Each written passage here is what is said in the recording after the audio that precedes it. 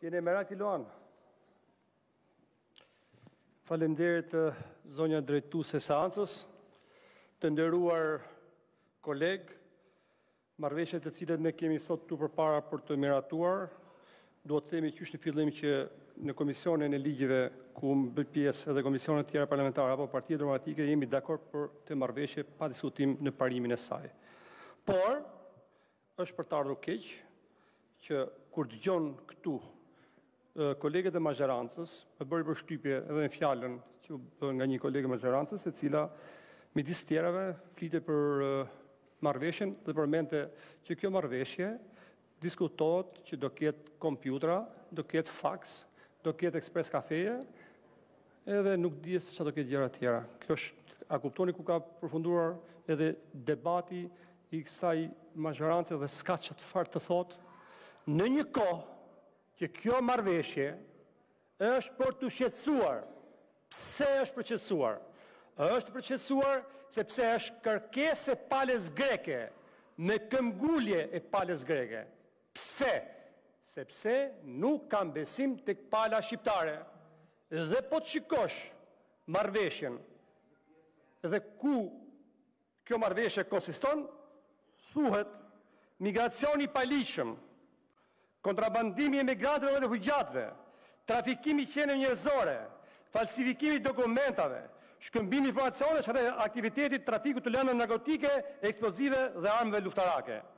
Në një kohë që ne me vendin tonë fqinj, Greqinë, të bëhet e mundur, duke patur parasysh që janë mijëra e mijëra bashkëkombas tanë në shtetin grek, do duhej të kishim lehtësim sa më të shpejtë të lëvizjes së qytetarëve dhe të mallrave nga Greqia në drejtim të Shqipërisë apo nga Shqipëria në drejtim të Greqisë.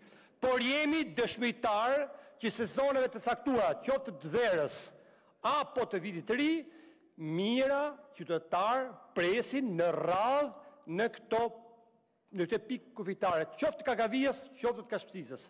Dhe e dimë fort mirë që që shumë mjete varg automjetesh janë përsëri këtu në këtë radhë. Ndërsa kjo marrëveshje nuk ka të bëjë për këtë fakt dhe për të zgjidhur këtë problem.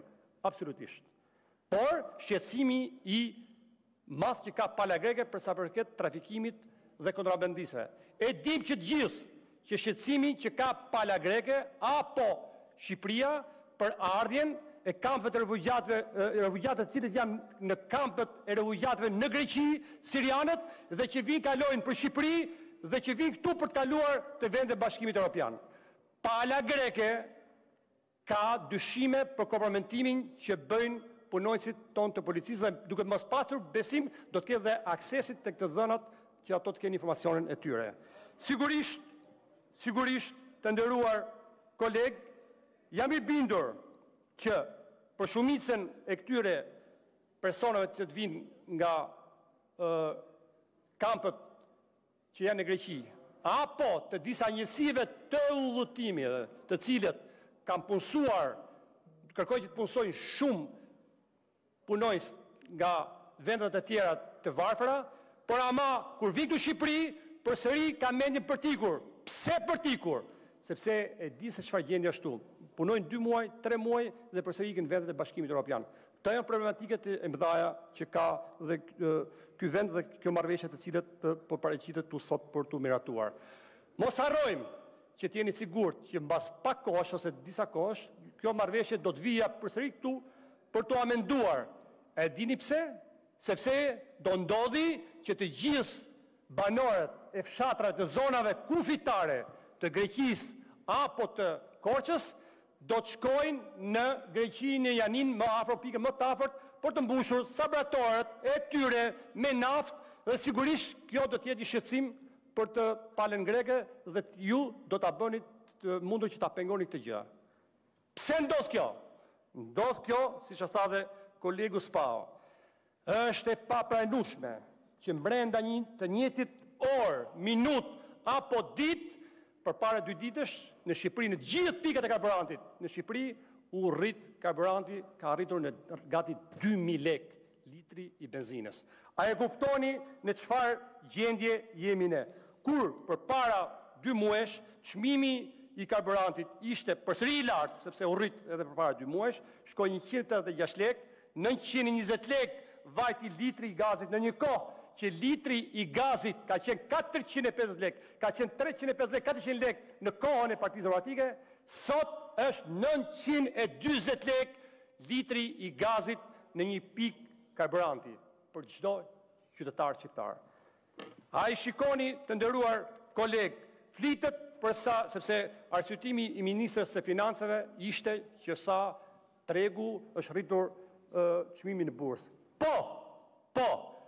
Në kohën e Partisë Demokratike, në kulmin e vitit dy mijë e nëntë ishte kriza ekonomike në të gjithë Europën, çmimi i një fuçie naftë arriti njëqind e dyzet dollarë Dhe çmimi i naftës nuk ishte kaq dhe karburantet, 1800 lekë të vjetra arriti. Kulmi, sot çmimi i një fuçie nafte në bursë është 90 dollarë, ndërsa këtu çmimi i naftës është 2000 lekë po shkon i benzinës një mijë e nëntëqind e pesëdhjetë një mijë e nëntëqind e gjashtëdhjetë lekë i naftës pse ndodh kjo ndodh sepse për çdo litër karburant që do të paguaj një qytetar një shofer apo një qytetar shqiptar kemi parasysh që paguan 37 lekë akcizë Tridhjetë e tetë lekë treqind e tetëdhjetë lekë të indeksuar me nivelin e inflacionit, dyqind e shtatëdhjetë lekë taksë qarkullimi,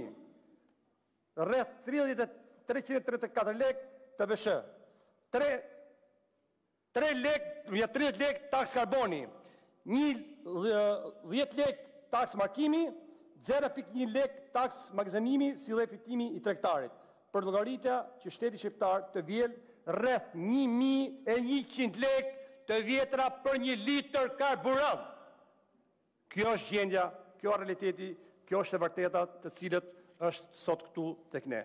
Pra, të nderuar, të nderuar kolegë, Është për të ardhur keq dhe është bindja, siç ka siç deklaroi edhe Ministria e Financave, që kjo rritje ndikoi dhe saje të paketës të re fiskale që ju miratuat këtu në muajin dhjetor, që do të bëjë të mundur që çdo tre muaj të rishikohet dhe indeksimi i çmimeve. Për sa i përket inflacionit dhe përsëri ne do të kemi rritje të çmimit përsëri të karburantit. Kjo është e vërteta, ky realiteti që po ndodh këtu tek ne. Dhe të jeni të bindur dhe kam bindje absolute që çmimi i naftës do ta kaloj 2000 lekshin. Do dali këtu kryeministri, do dali këtu ministrja e financave, do gjej lloj-lloj argumentesh për të treguar dhe për të justifikuar këtë rritje të çmimit.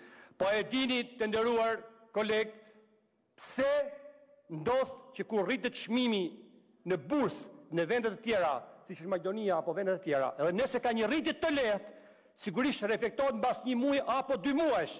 Pse?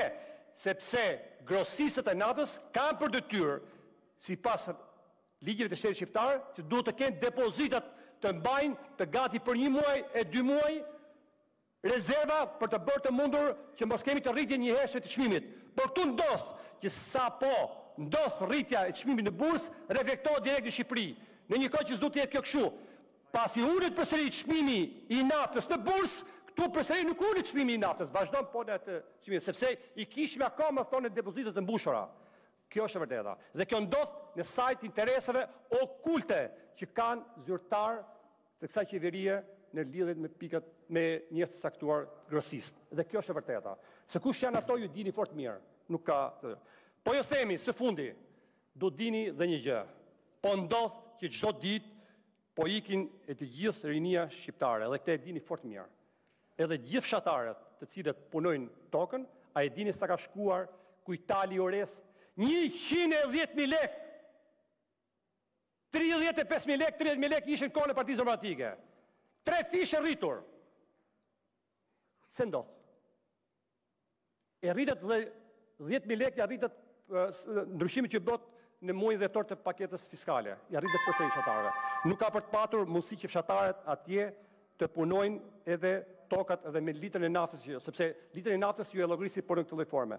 Dhe më lejoni që së Në një intervistë që ka marrë një televizion, që shpjegon për punën që shumica e rinisë po ikën nga Shqipëria ditë për ditë dhe nuk ka më njerëz nëpër fshatra. Tu ka ngelur pleqtë një dhe çmenduri dy. Zonjë, po ikën tërë rinia. Ka idiot. Me pak fjalë. Po ju nuk dëgjoni asnjë fjalë të njerëzve. Faleminderit, Zoti Sula. Faleminderit zoti Sula. Atëherë ka kërkuar fjalën duke këmbyer vendin, ju lutem, me zotin Xhemal Qefalia, zoti Taulant Balla. Nuk ua përmendi emrin. Nuk ua përmendi.